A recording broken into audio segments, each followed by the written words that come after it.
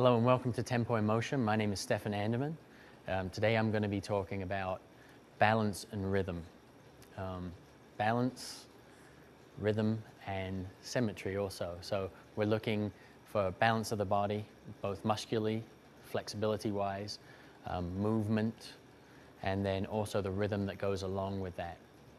So um, rhythm is in every sport, also balance um, helps every sport.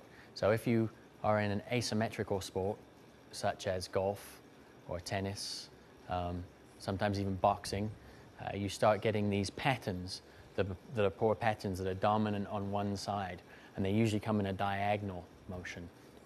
So if you're a golfer or a boxer, you usually want to practice, even though you might be uh, in boxing or in martial arts, you may be orthodox.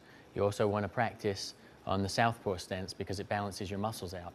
It's like anything else. If we practice one thing too long in one position, we get these overuse injuries that lead to these muscular tensions in part of our body and um, deactivation in other parts of our body. Now, a lot of this just ends up in our neural system and then it, it takes hold in our, in our soft tissue. And all these can be undone, we just need to practice undoing them. In order to improve our flexibility and our motion, which remember, all this other stuff is supposed to improve our motion, hence tempo and motion, rhythm, flexibility, strength should all improve motion.